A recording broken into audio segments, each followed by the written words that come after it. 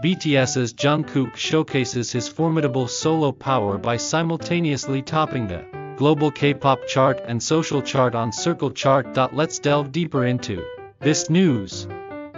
According to the Korea Music Content Association which operates Circle Chart, formerly JN Chart, Jungkook's second solo single, 3D, clinched the top spot on the Circle chart for the week of October 15th to 21st in the global K-pop category. His first solo single, 7, followed suit, ranking second on the weekly global K-pop chart right behind 3D. 3D and 7 have consecutively maintained their first and second positions on the weekly global K-pop chart for three weeks. Jungkook also marked a consecutive two-week top spot on Circle's weekly social chart, which aggregates rankings based on social indices from various social media platforms including YouTube, TikTok, MuBeat, and MyCelebs, 7 and 3D, are also enjoying a long run of popularity on Spotify, the world's largest music streaming platform. As of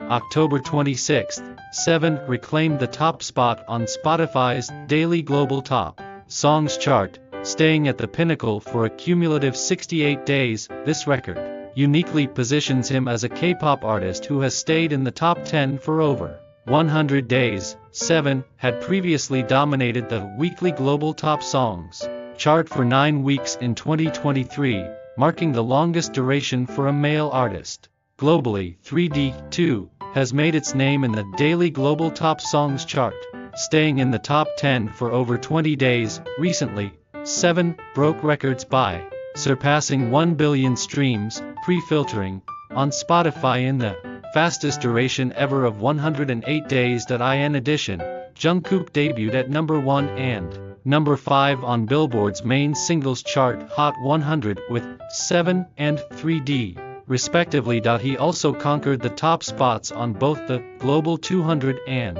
Global X.U.S charts, continuing his march as a global pop star that concludes today's news. If you enjoyed this video, please hit the like button, subscribe, and turn on notifications. Thank you and goodbye.